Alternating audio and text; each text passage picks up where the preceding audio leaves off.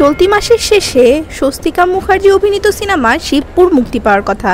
এ নিয়ে এখন চলছে প্রচারণাও কিন্তু সিনেমার প্রচারে নেই অভিনেত্রী।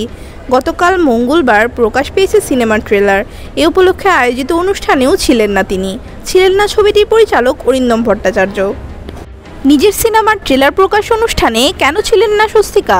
অনেক গণমাধ্যম কর্মী অভিনেত্রীর কাছে জানতে চাইলে স্বস্তিকা এই প্রশ্নের উত্তর দেন সামাজিক যোগাযোগ মাধ্যমে। ফেসবুকে তিনি লিখেছেন, যৌন হেনস্থা কোনো তুচ্ছ ঘটনা নয়। কোনো ক্ষমা নেই এর। প্রযোজকেরা ভাবতে পারেন সব ঠিক হয়ে গিয়েছে, কিন্তু একেবারেই সেটা নয়। আমি ছেড়ে দেব না।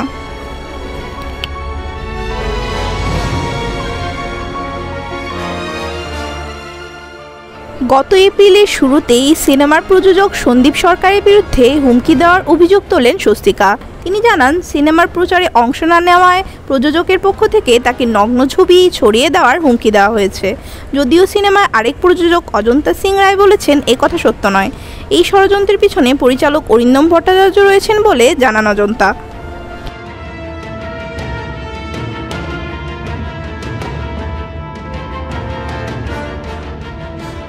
আর এ কারণেই অনেকেই মনে করছেন নির্মাতারা ইচ্ছা করেই সিনেমার প্রচার থেকে দূরে রাখছেন পরিচালককে। আর এই অনুষ্ঠানের কোনো আমন্ত্রণপত্রও পাননি বলে জানান পরিচালক। এই মুহূর্তে কলকাতায় নেই স্বস্তিকা। যদিও থাকতেন, তবুও এই সিনেমার প্রচারে যেতেন না বলে জানান তিনি। তবে এই সিনেমা যেহেতু স্বস্তিকা অভিনয় করেছেন সেহেতু তিনি ভক্তদের জন্য সিনেমার ট্রেলার শেয়ার করবেন বলে জানান। ত্রিশ জুন প্রেক্ষাগৃহে মুক্তি পাবে সিনেমাটি।